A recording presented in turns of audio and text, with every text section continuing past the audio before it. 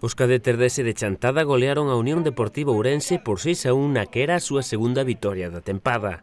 Os de Juan, que está nun ano de debut e aprendizaxe para a maioría do conxunto, non estaban tendo sorte co resultado nos últimos encontros, pero nesta xornada deronse unha homenaxe ante os Ourensans, pese a que o campo non estaba en boas condicións. O certo é que na primeira metade pois o campo estaba totalmente encharcado porque diluviou e eso fixo que o fútbol que se viu fora directo, tanto dun, por parte dun equipo como do outro, porque non había opción para moito máis. Uh -huh. E, bueno, conseguimos facer un cero pronto por medio de Pipita, despois Anxo meteu dos goles nos minutos 25 e 26 e xa pechou o partido, e despois outro tanto máis de Pipita e Javier puxeron nos co 5-0, e le recortaron distancias de penalti, pero, bueno, despois ao final Anxo culminou o seu hat-trick con outro gol en un partido no que fomos moi superiores e o resultado creo que foi xusto.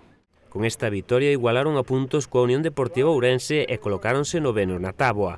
Agora tentarán subir algún posto máis. Eh, quedan nos dous partidos ante o Monforte e o Arenteiro, que son rivais, como dixen a semana pasada, da nosa liga. e Intentaremos sumar os máximos puntos posibles para rematar este grupo na mellor posición posible.